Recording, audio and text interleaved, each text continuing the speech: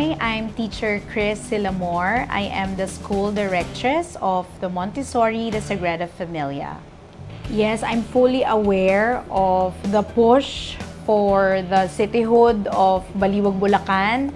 It's all over our town. It's on social media. I can see a lot of people wearing the t-shirt.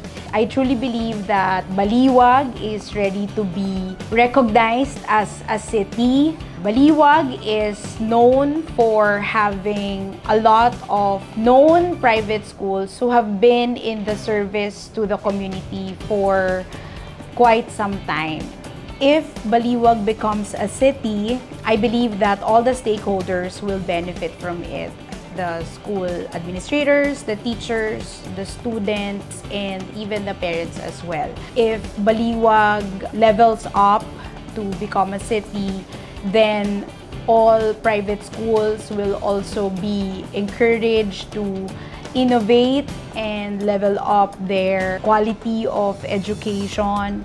And the cityhood of Baliwag will also inspire more parents who would like to invest their children's education in Baliwag. And this will attract of course uh, more opportunities for businesses and employment for the people of our town.